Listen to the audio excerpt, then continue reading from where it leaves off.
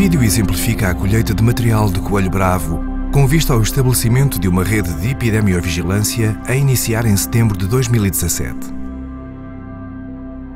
As imagens foram recolhidas durante a primeira ação de formação sobre a colheita de material biológico, realizada no âmbito do Plano de Ação para o Controlo da Doença Hemorrágica Viral dos Coelhos.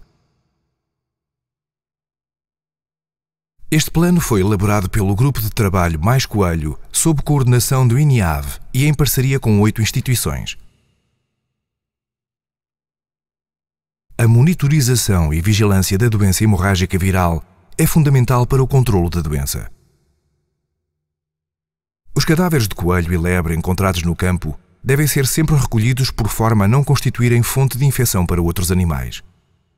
Os cadáveres que não se encontrem em avançado estado de decomposição deverão ser enviados para diagnóstico laboratorial no INIAV, tendo-se estabelecido para o efeito uma rede nacional de recolha. A localização dos pontos de entrega pode ser consultada no site do INIAV e é disponibilizada em papel em todos os kits de colheita. O kit para a colheita de cadáveres consta de um envelope que contém uma luva, um saco de plástico transparente, uma mica com a ficha de identificação do cadáver, uma folha com o protocolo e a localização dos pontos de recolha de amostras, um saco vermelho, um elástico e um lápis para registro dos dados na ficha. Para recolher o cadáver encontrado no campo, coloca-se a luva e abre-se o saco de plástico transparente. Com a mão protegida pela luva, recolhe-se o cadáver e coloca-se no interior do saco. Extrai-se o ar do saco, que se encerra com um nó ou com a ajuda de um elástico. Coloca-se de seguida o cadáver no interior do saco vermelho. Neste segundo saco, inclui-se também a ficha depois de devidamente preenchida. O lápis, o envelope e a luva. O saco vermelho é então devidamente encerrado com um nó. Depois de acondicionado, o cadáver deve ser colocado no frio até à sua entrega num ponto de recolha. O kit para a colheita de animal caçado contém uma mica com uma ficha de identificação do cadáver e uma folha com o protocolo e a localização dos pontos de recolha de amostras, um lápis para o seu preenchimento, um par de luvas, três frascos de rosca, um bisturi, uma seringa, uma agulha e um pequeno tubo para a colheita de pulgas e carraças. Contém ainda etiquetas que devem ser preenchidas e coladas nos respectivos tubos antes de se proceder à colheita. As amostras são colocadas nos frascos, sendo um para o sangue, outro para o baço e fígado e o terceiro para o duodeno. Recomenda-se a máxima precaução na manipulação do bisturi e agulha, particularmente na colocação das respectivas proteções depois da sua utilização. Em primeiro lugar, abrem-se os frascos já etiquetados, retira-se a proteção da agulha e da seringa e coloca-se a agulha na seringa. De seguida, calçam-se as luvas e coloca-se o animal em decúbito dorsal sobre um saco de plástico. A punção cardíaca efetua-se acedendo pelo lado esquerdo do tórax do animal ao coração, através do terceiro espaço intercostal. O sangue é aspirado e despejado para o respectivo frasco depois de retirada a agulha.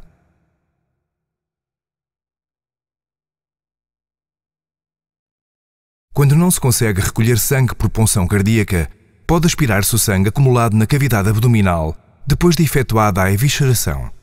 Neste caso, o sangue deve ser aspirado sem agulha.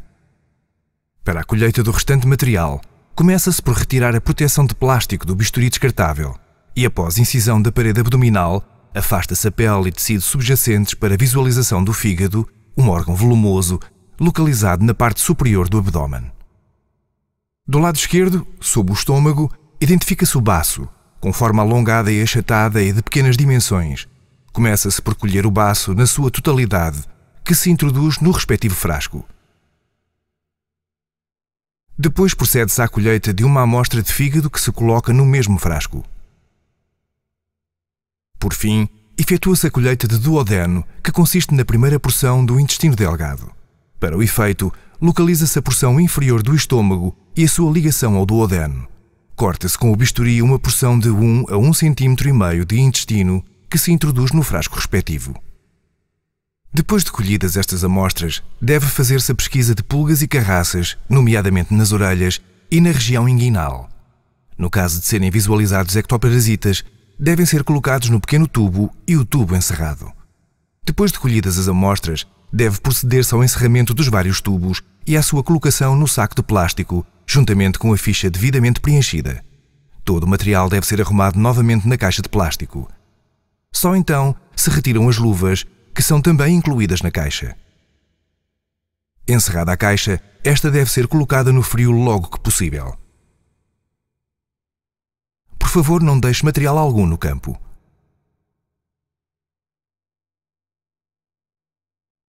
As vísceras não deverão ser abandonadas no campo.